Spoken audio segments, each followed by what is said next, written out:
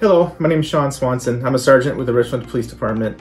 I'd like to talk today about the Lourdes Health Mobile Outreach Team and how fantastic they are. We've been utilizing team members for several years now, and they are great to have as a resource for, for patrol.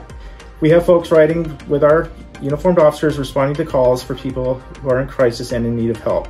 Um, they get the help that they need immediately. Uh, they have a mental health professional offering services that I may not know about or the officers may not know about.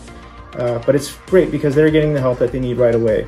Um, it also makes it so that these individuals who are in need uh, aren't afraid to call the police. Where in the past, we may not have an option um, on how to deal with somebody that's combative.